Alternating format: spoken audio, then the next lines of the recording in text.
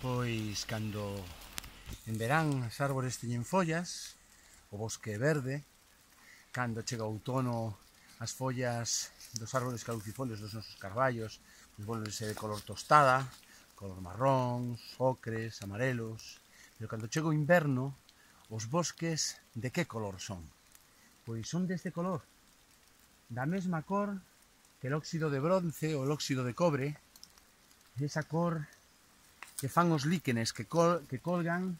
e que pobran os árbores durante todo o ano, pero que agora lucen todo o seu esplendor en carballos moi bellos, en unha carballeira ben frondosa, senlleira como esta de Carballedo. Eche un bosque de líquens, líquens, totalmente precioso, espeso, unha maravilla.